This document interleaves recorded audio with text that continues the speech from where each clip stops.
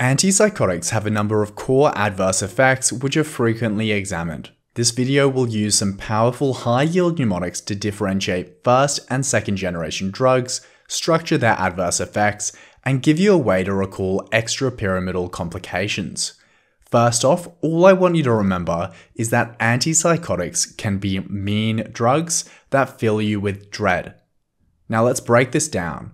These drugs are mean because they cause metabolic syndrome, which is a collection of issues like excess body fat and heart disease, extrapyramidal side effects, which we'll explore in a second, anticholinergic effects like constipation, and neuroleptic malignant syndrome. If you want to know more about this condition, check out my other video on NMS.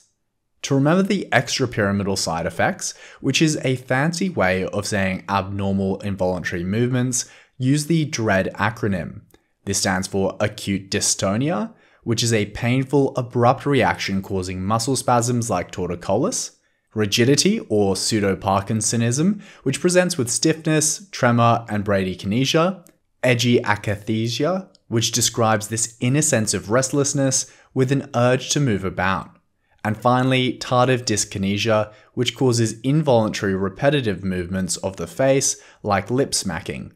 Don't forget, this one can be a permanent side effect. Now, DREAD works really well because it sets out these complications in a chronological order.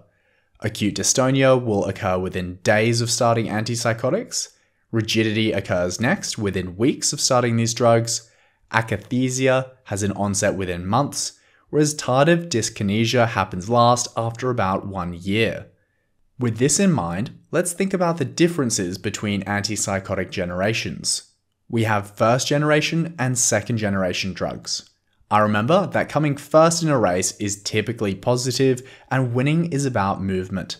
This tells me that first gens are also known as the typical antipsychotics, which provide good relief of the positive symptoms of schizophrenia, like hallucinations, and that movement disorders are more common in this class. On the other hand, coming second is only good if you're a negative person, and losing the whole time just makes you eat too much and gain weight. This reminds me that they're really good for patients with serious negative symptoms like blunted affect, and importantly, weight gain is common in most second generation drugs. Let's finish up by talking about clozapine. This is a super killer drug for a couple of reasons. Firstly, it's the most effective therapy for treatment resistant schizophrenia, however, I remember it as the camo killer for a more negative reason. Clozapine toxicity kills you in three ways, so you have to monitor for these complications. It can cause agranulocytosis, which means no production of granulocytes, e.g., causing really low neutrophil levels, myocarditis, along with other cardiac issues like myopathy, and finally, obstruction of the bowel. I really think you should watch my video on NMS to fully understand these drugs, so click here for some really good mnemonics. Thanks for watching Townsend Teachings.